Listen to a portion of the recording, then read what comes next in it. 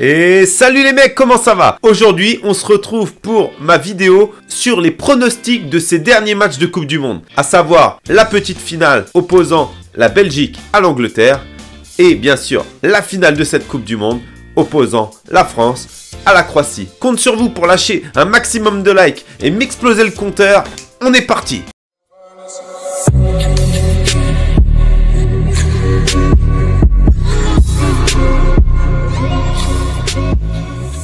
La Belgique va donc affronter l'Angleterre dans ce qu'on appelle la petite finale. En point de mire, une troisième place de cette Coupe du Monde 2018. Ce serait la meilleure place de la Belgique. Les forces en présence, on les connaît bien maintenant. Et moi, je donne un avantage certain à cette Belgique. Un point me paraît essentiel. Regardez les deux matchs la Belgique contre la France et l'Angleterre contre la Croatie. L'Angleterre a quand même dominé plus de 60 minutes la Croatie sans jamais réussir à faire le break. Elle avait réussi à ouvrir le score, mais elle n'a jamais réussi à marquer ce deuxième but qui lui aurait certainement valu une place en finale contre la France. On a vu à la fin du match les Anglais complètement abattus.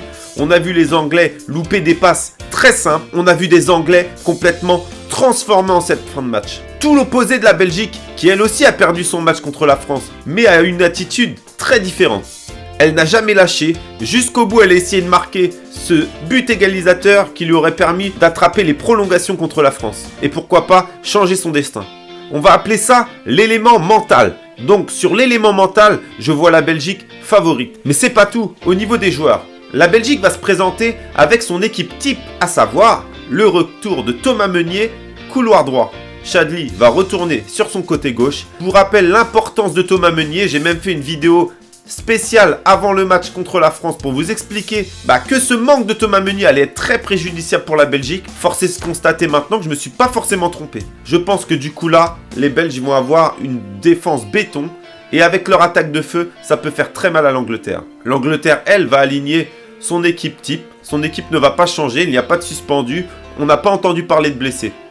Nouvel avantage pour la Belgique. Au niveau des paris, les amis, je vous propose deux paris. Pour moi, le pari simple, le pari sûr, ça va être la Belgique qui gagne avec une cote de 2,20. 2,20, c'est pas mal. Ça permet de plus que doubler sa mise. 10 hein. euros, 22 euros encaissés. Pour moi, c'est pratiquement sûr. En pari risqué, je vais mettre la Belgique sans encaisser de but. Puisque la Belgique a une défense très solide. On a vu que les Anglais, à part sur coup de pied arrêté, ils sont très peu dangereux. Et pour moi, la Belgique, avec ses trois défenseurs, Vertonghen, Compagnie et Alderweireld, vont dominer les airs même devant Harry Kane, le meilleur buteur de la compétition. Belgique sans encaisser de but, cote de 4, 10 euros, 40 euros empochés. C'est là. On passe maintenant au match France-Croatie, la finale de cette Coupe du Monde. La France accède à une troisième finale en 20 ans. La Croatie, elle, petite nouvelle, n'a jamais disputé une seule finale. C'est pour l'instant son meilleur classement. On peut penser que la France, avec son équipe très solide, par largement favori devant cette Croatie. Et moi, j'ai une autre chose à vous dire. La Croatie en huitième de finale, match nul. La Croatie en quart de finale, match nul. La Croatie en demi-finale, match nul. On voit que depuis les phases de poule qui se sont très bien passées pour eux, la Croatie n'arrive plus à développer son jeu. Je trouve que Rakitic et Modric ont perdu énormément d'influence dans le cœur du jeu. Ils ont beaucoup de mal à se créer des occasions. Contre l'Angleterre, il aura fallu un exploit de Peresic pour marquer et égaliser et complètement relancer ce match.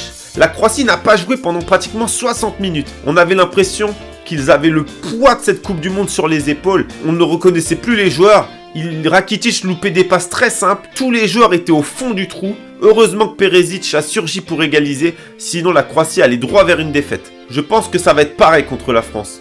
La Croatie va avoir du mal à rentrer dans son match. La Croatie ne connaît pas ce que c'est que de jouer une finale de Coupe du Monde, ne sait pas le poids que ça porte sur les épaules. Et déjà en demi-finale, ils ont eu beaucoup de mal. Je pense que s'ils mettent 60 minutes à rentrer dans leur match, cette fois la France va les punir très sèchement. Paris sûr, la France remporte ce match. 1,95. J'ai même rajouté un pari pour moi encore plus sûr. La France ou match nul et moins de 2,5 buts dans le match. Je pense que ça va être un match fermé. Cote de 1,62. La cote est assez basse, mais si vous mettez 100 euros, vous gagnez quand même 162 euros, donc 62 euros de bénéfice. C'est quand même pas mal. Maintenant, on passe aux cotes plus risquées. Mais pour moi, elles ont de grandes chances de se réaliser. On a la France sans encaisser de but. La cote est à 2,48. 2,48.